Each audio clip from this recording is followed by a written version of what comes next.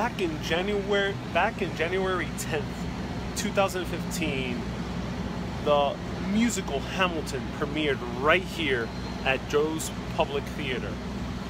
Hello everyone, I'm Ariel with Urbanist and this is a show where I explore cities all around the world, its history, food, and culture, and all of its wonders, all mostly on live video so you can join me along for these rides. Share this video right now with your friends and family if love history and want to share a little bit of New York City history with them. So, Hamilton premiered here in January 10th, 2015. Now it's known as one of the biggest musicals in all of Broadway history. Starred, written and starred by a fellow Puerto Rican American, Lin-Manuel Miranda. But what if Hamilton premiered the same day that another production of Alexander Hamilton premiered only about, let's say, 10 blocks away? Let's say that this play, this musical, that stars all ca uh, cast from people from all around the world, hip hop musical, taking their own take on American hero. But just about 20 blocks away, you had, let's say, like Clint Eastwood was also premiering a play on Alexander Hamilton. Except this is all very old school. Everyone in the cast is pretty much old white men, and it's very classic. How do you think people would feel to see two productions of Hamilton happening at the very same time. Well, this didn't actually happen for Hamilton, but happened about 100 years prior for a little Shakespeare play. It's actually one of my favorite Shakespeare plays, known all around the world for it being a very bloody, bloody affair. And that play is Macbeth. Today we're going to learn about how a play by William Shakespeare ignited a riot of over 10,000 people along Astor Place, right between the East Village and the Greenwich Village, in the neighborhood of NoHo. This was one of the biggest riots in American history, and it was all started by a Shakespeare play. But this ties into a curse from the Shakespeare play that has lingered around before this riot occurred and after this riot occurred. So we're going to find out, is there a curse in play for William Shakespeare's Macbeth? What happened in this riot and how bad was it?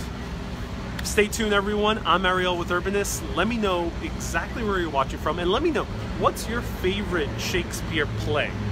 Of all the Shakespeare plays you might have seen, I bet you most of you have seen at least one or some a play based on this existence before. Let me know in the comments, what's your favorite Shakespeare play? For me, Macbeth is one of my top favorites because it was always very gritty, very violent, very easy to understand. The, the story has been repeated many times after that. So let me know. Let me show you where we're where we at right now, and then we're gonna get into the story.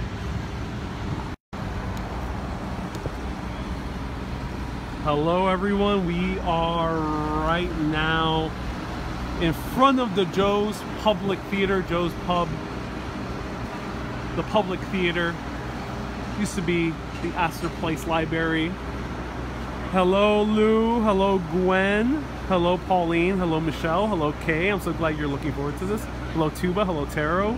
Baji. Hello, Lou. Hello, Janelle. Hello, Donna. Hello, Wilma. Hello, Murray Helen. I'm doing well. Thank you so much for asking. And we are right by Lafayette Street. And right by, hey, how's it going? right by Lafayette Street. And we're only a few, about a few steps away from Astor Place, where the main action took place. No, the Joe's Public Theater is a gorgeous theater.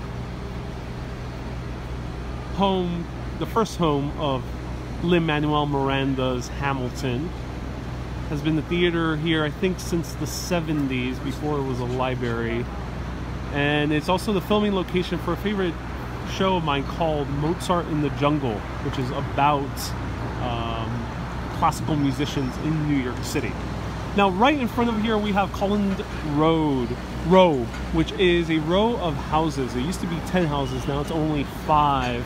It's covered in scaffolding right now, but it's one of the finest examples of Gilded Age architecture here in New York City.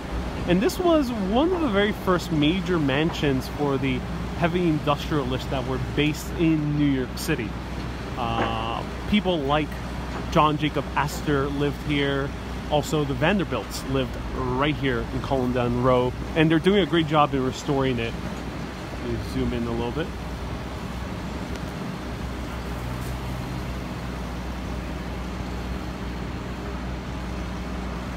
Hello, Elaine. Coming next month, and hopefully we bump into each other. I hope so too. And Lou, I'm so glad you love this area, and some some of Shakespeare's stuff is hard to follow. I can imagine.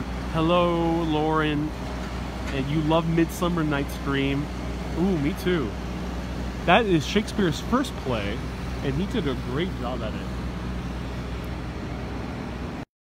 All right, so we are basically in the East Village, right between the East Village and the Greenwich Village. This neighborhood's called NoHo. I usually associate more with the East Village.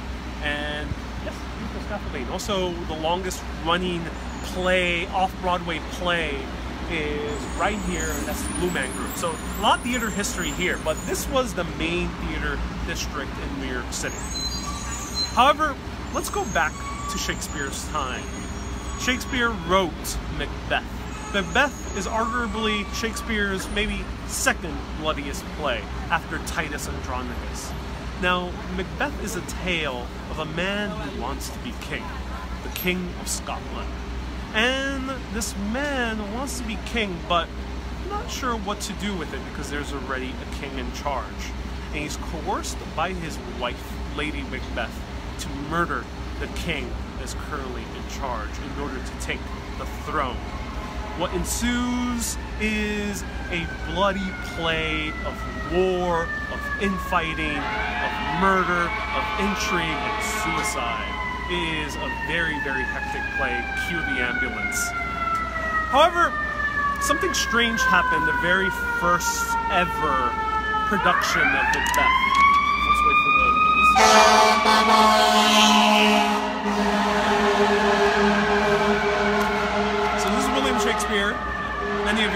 Know him. He's written many plays: Macbeth, Romeo and Juliet, Midsummer Night's Dream, uh, Twelfth Night, the list goes on. I love many of his plays. But something strange happened the very first night that this man premiered Macbeth. Shakespeare was an actor and also a playwright. This time, he wasn't really acting for his first showing of Macbeth. First showing of Macbeth happened, and suddenly, something strange happened. Lady Macbeth, the man who played Lady Macbeth, suddenly died. Now, I say man because almost every play during that time was played, every single role was played by men.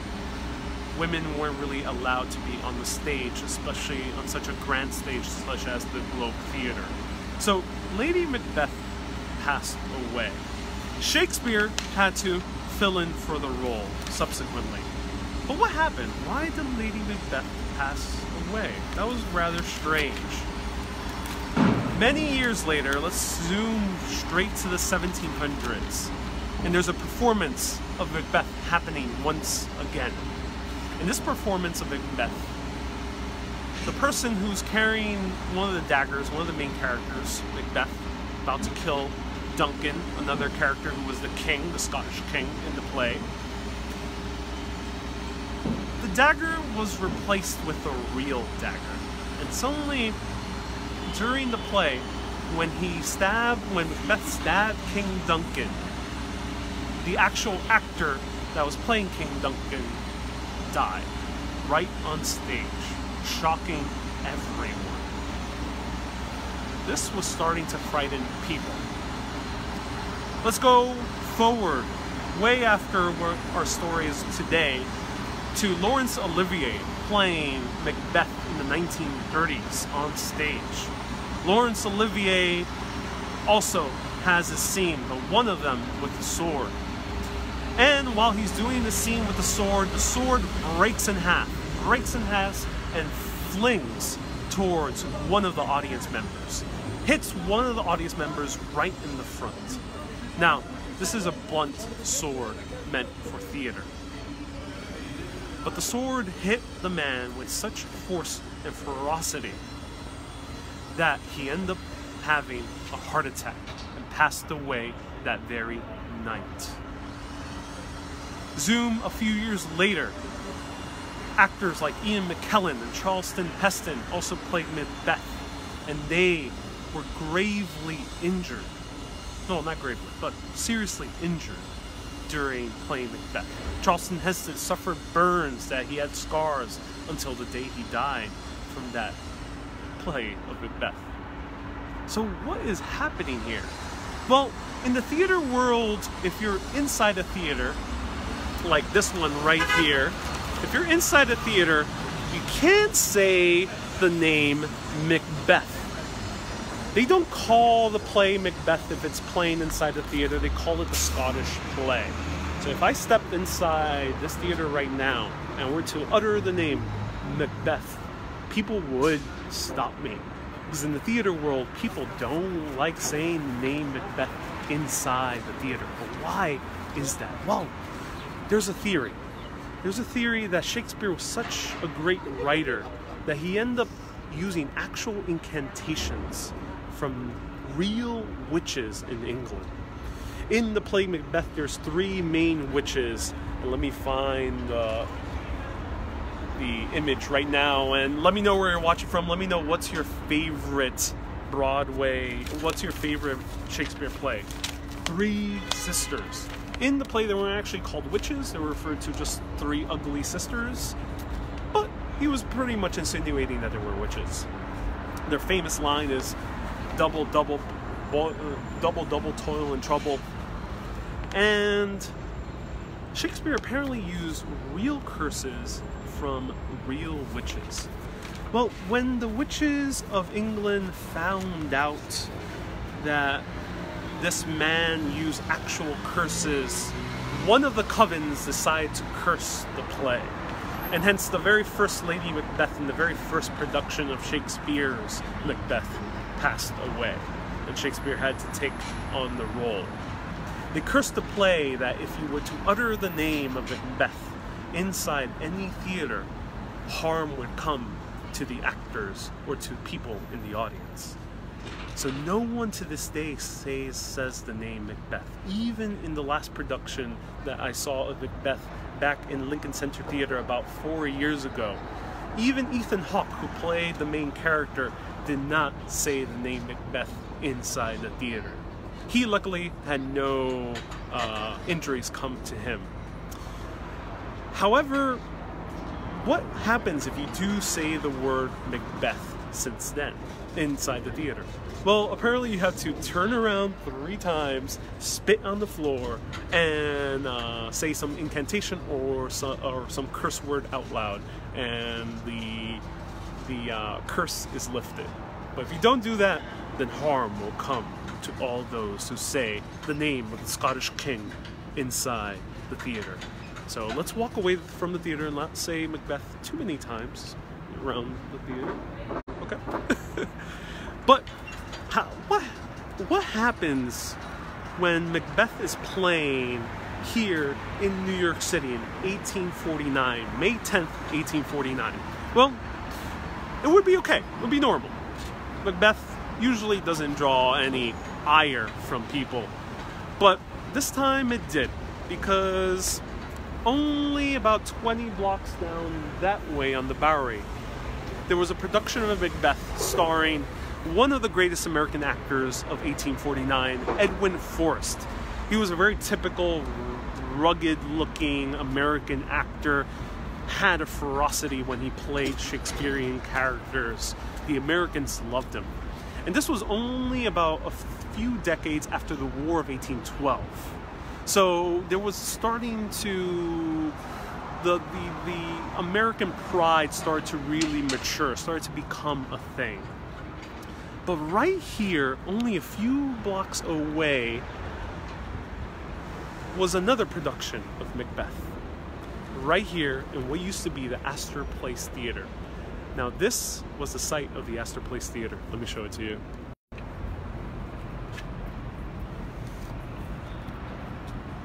Hello, Alda. Hello, Wilma. Hello, Casey.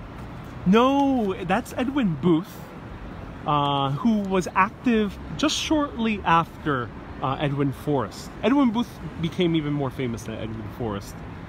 Uh, but yeah, very close names.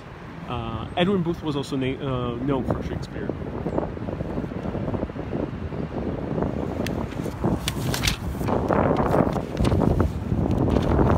So before this building stood, this was built in the early 1900s, around 1907. This was the theater that stood right here, the Astor Place Theater, one of the grandest theaters in all of the city, built on the very outskirts of the city, meant for the uh, aristocracy of the city, right next door to their mansions. Vanderbilts and Astors, as you know, were one of the richest people in almost the entire world at that point. point And this theater was no different. This theater, the seats were expensive, they were reserved seating, and also there was box seating all around, usually relegated to the very rich and famous. And if you were poor, you could buy seats, but you were relegated to sit on the very third floor mezzanine with very tight seating, only accessible by a little tiny staircase all the way on the top it wasn't quite the most friendliest to all the classes of New York City. Down there in the Bowery was the Bowery Theater where Edwin Forrest was playing, and in the Bowery Theater, Edwin Forrest, uh, that theater was open to all the classes. Generally, anyone could afford it.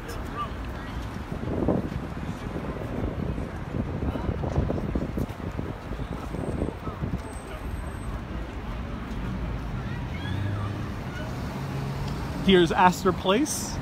Beautiful, gorgeous.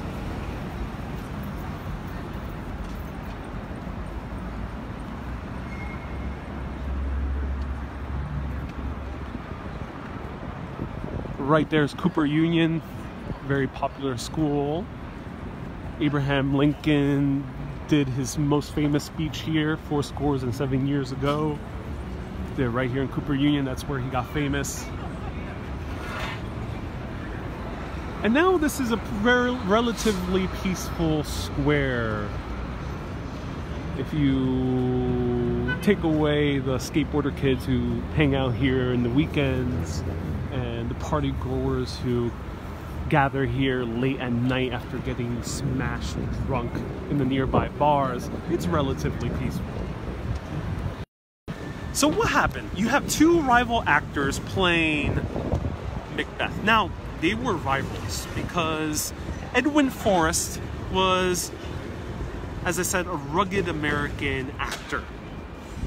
Now, the person playing Macbeth here in the Astor Place Theater the same day, right here, modern day Starbucks, was William Macready. William Macready was a very high class English actor coming back from London. Very high class. He had kind of a of a refined feeling to his acting. And these two guys were playing. And William Macready was apparently hissed at one of his shows in Edinburgh about a year before 1849. In 1848, he was hissed at a show in Edinburgh. Now, he was hissed at a show in Edinburgh, apparently by Edwin Forrest. Now, Edwin Forrest hissed at William Macready because apparently William Macready told said something bad or something rude about Edwin Forrest, and Edwin Forrest being a very uh, blunt, blunt, forward-thinking um, American, just decided to just immediately react and hiss at his play in Edinburgh. William Macready did not like that at all. But this ignited something within Americans. Americans were very proud that Edwin Forrest was kind of basically giving the finger to this high class English actor. Now, William Macready wasn't actually a high class English actor.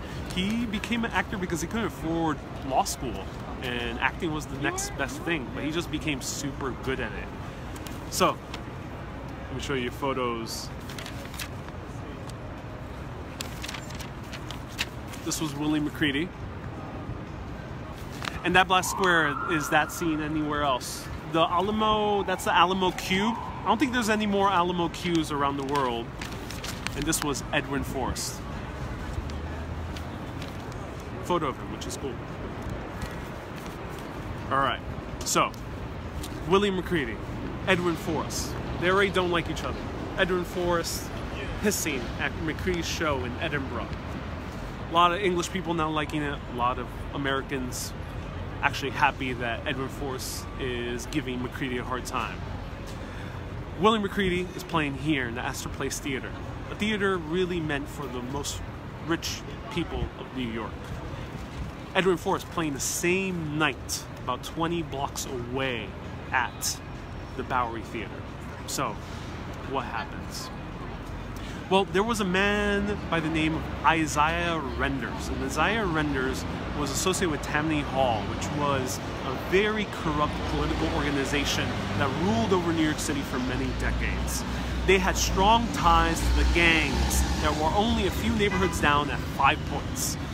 Five Points was the main low class neighborhood, mostly filled with Irishmen and African Americans who were the poorest of the poor.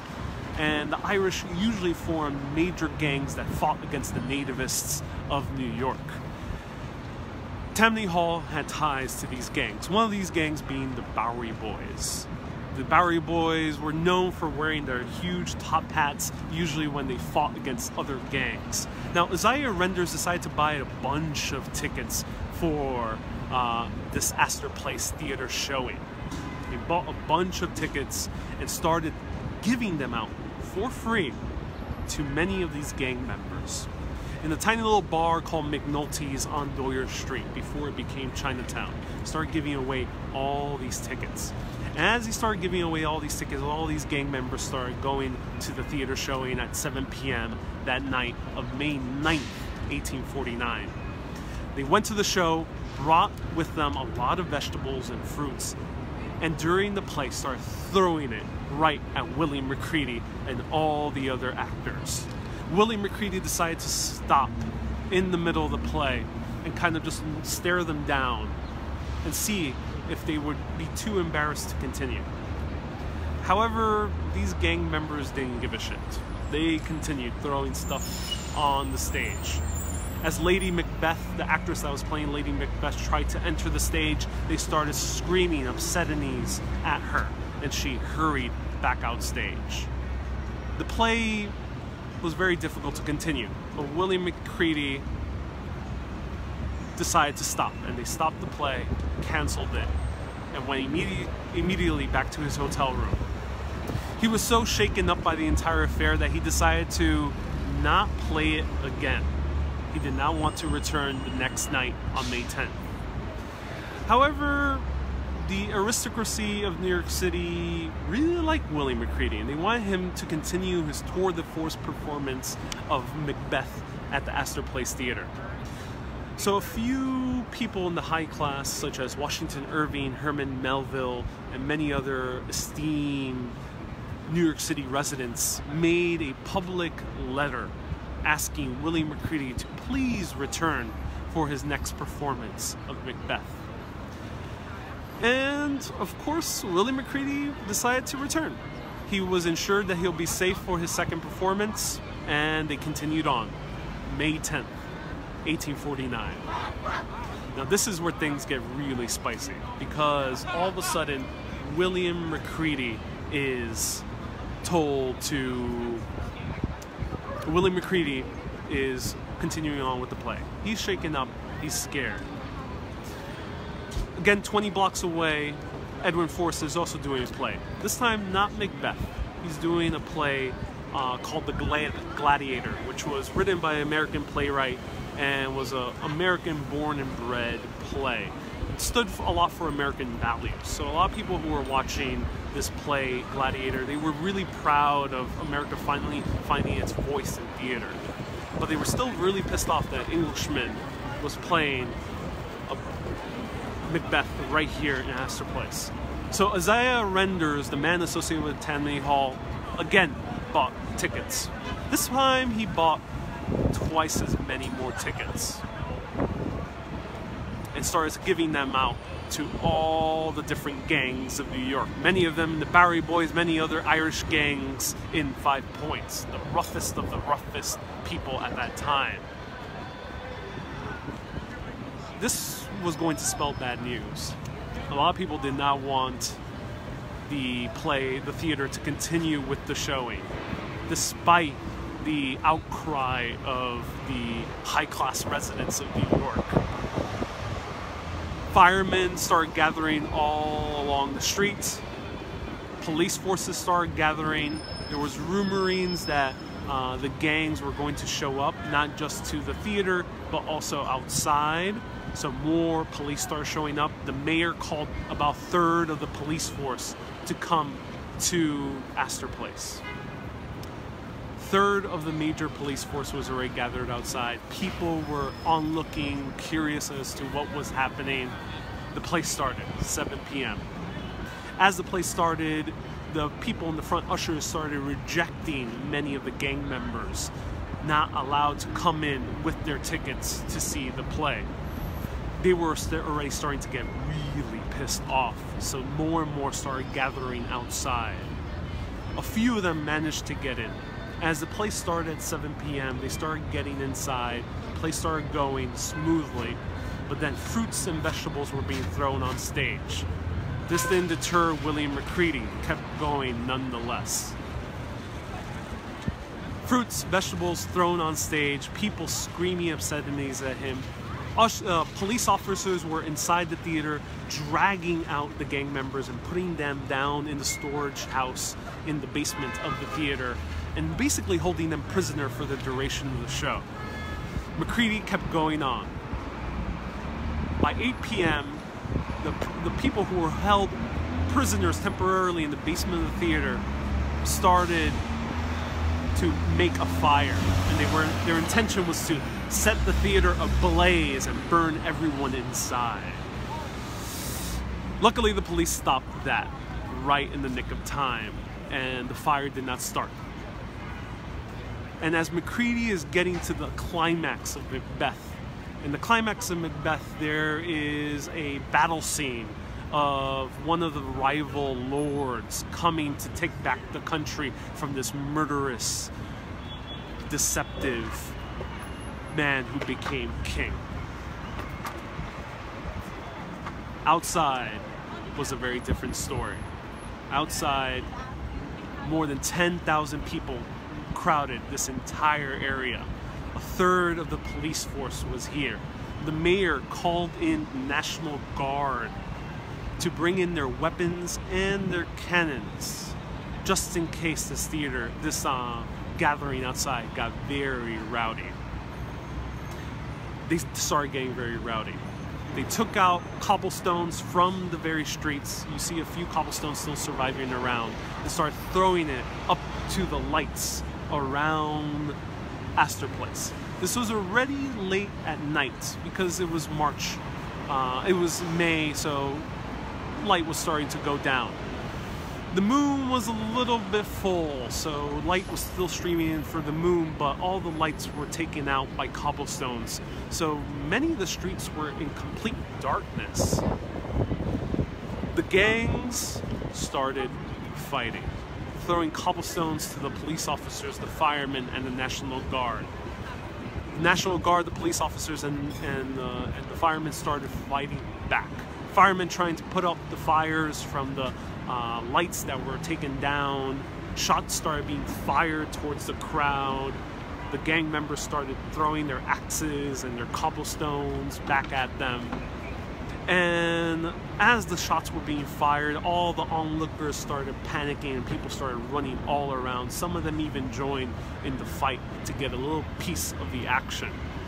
The entire reason they were fighting against each other was because these people who were either newly come to America or really wanted to they want they came to America, were subjugated, really wanted to fit in. And by fitting in, they want to fit into this American spirit, this American working class culture. So they were fighting against the aristocracy of New York City because they thought to them to themselves that these guys were taking them down. They were greedy. They were underpaying all these workers. They were the reason why many of these Irishmen were subjugated. So that's a lot of the reason why they were fighting back. So as shots started being fired in every single direction, people in the buildings all around started being hit.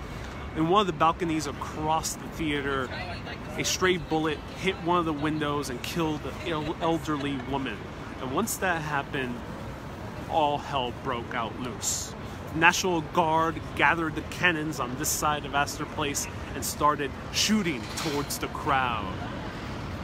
Yep, actual cannons shooting right into the crowd of people all around. They weren't just gang members, they weren't just angry Irishmen, they were also women and children. William Macready kept doing the play nonetheless. And the play came into the completion because the entire theater was actually boarded up and closed up, so no one was able to get inside and no one was able to get out. William Macready, after the fact, apparently many critics said that this was his finest performance due to the irony of the lines spoken because in, in Macbeth, as I mentioned, there's an actual war scene of people coming to storm the castle. Well, people were storming the theater that night, and those lines spoke a little bit more poignantly when said that particular night. The play was finished, but the riot was continuing on. And by the end of this riot, many hours later, as the crowd started dissipating, the the gang, the Irish gang started roving the streets, trying to hunt down William Macready to try to find him and murder him. Around 30 people died. Hundreds were injured. This was one of the largest riots in American history about the second, third largest riot in New York City history after Civil War draft riots, also which contained a lot of Irish gangs. But what happened to William Macready? Well, William Macready was very sneaky. He was such a good actor that he put on the disguise at the end of the performance and snuck out, and no one was able to tell. He went to his hotel room and immediately left to Boston. William Macready left unscathed. But the people surrounding it, not so much. So imagine coming back here and seeing cannons flying about, gunfire uh, going about, hitting everywhere. All because of a tiny little production of Macbeth. And that begs the question was this the curse of the Scottish play? Did this very riot happen because of the incantations spoken by the coven all those hundred years ago that cursed the very first production of Macbeth? Hmm. No one knows. But we do know that ever since that production, there was a inherent class struggle with uh, theater productions, and that's why even to this day, Shakespeare plays in America kind of seen as elitist. Typically, Shakespeare plays in the city are played mostly by the very high-end theater venues and just by common American culture, we kind of scoff at the snobbishness of Shakespeare.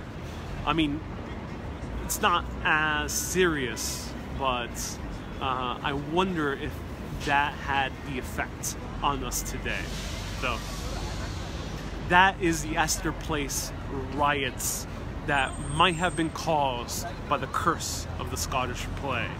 So remember, next time you do see a production of Macbeth inside any theater, don't say the word Macbeth. Call him either the Scottish king and call it either the Scottish play, but never utter the M word inside a theater. I hope everyone enjoyed the story. That's the end of my story. Uh, press that heart button if you enjoyed it. And let me show you a little bit more of Astor Place so you get a little bit more of the view as we walk around.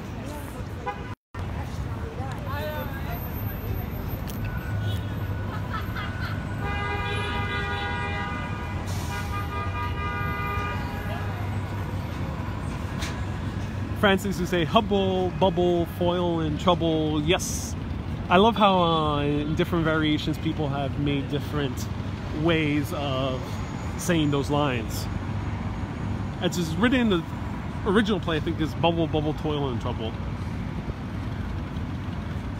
And Vivian, I'm doing well. Gracias por mirando. Estamos hablando de la, de la, de la obra Macbeth or William Shakespeare. Sunshine, thank you so much. I'm glad you love the narration. Francis, hello. Glenda, hello. Helga, I'm doing well. Paul, you say Lincoln's speech at Cooper Union was the A house cannot divide stand. Oh, okay. Thanks for clarifying. And the black square seen anywhere else. Yeah, this is the Astor Place Cube. Right here, very iconic installed in the late 70s, around there.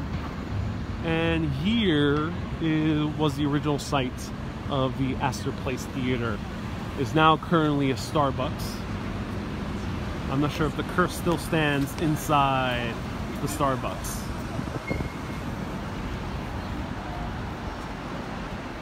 And Sunshine, you said not. Uh, people were calling you, but were like, not now. Uh, I'm watching my favorite urbanist. Oh, that's so awesome. Thank you for rejecting uh, your current calls. And Kay, you start to get withdrawal syndromes when, when my lives are not on. I'm glad you were able to tune in.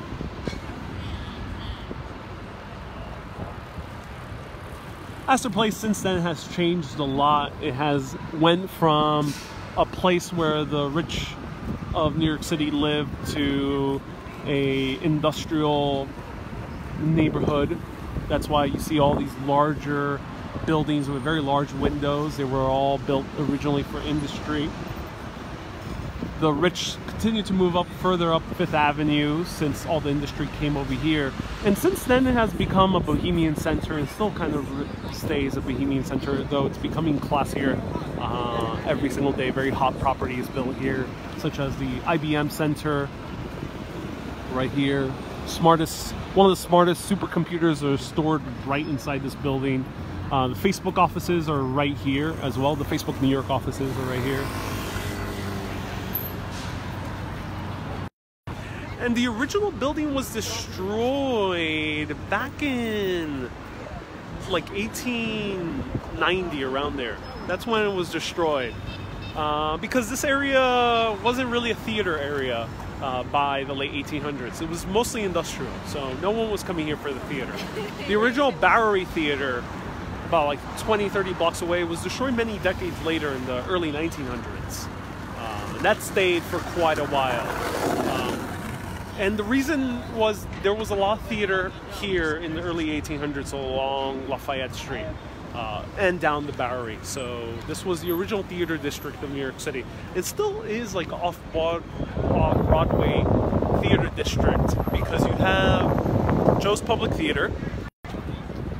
You have Joe's Public Theater. You have the I think the new Astor Place Theater, which is uh, where the Blue Man Group plays, and there's a few other smaller theater venues all around this area.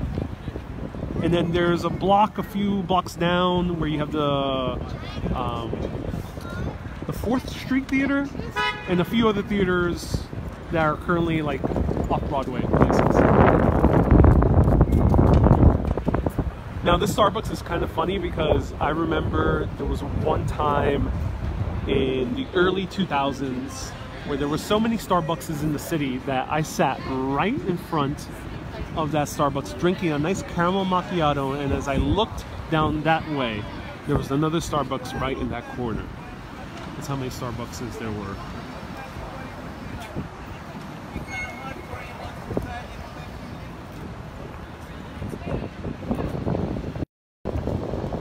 So I'm Ariel with Urbanist. If you enjoyed this video, share, like this page if you want to see more videos like this, and share this video with your friends and family if you want to show them the beauty uh, and history of New York City.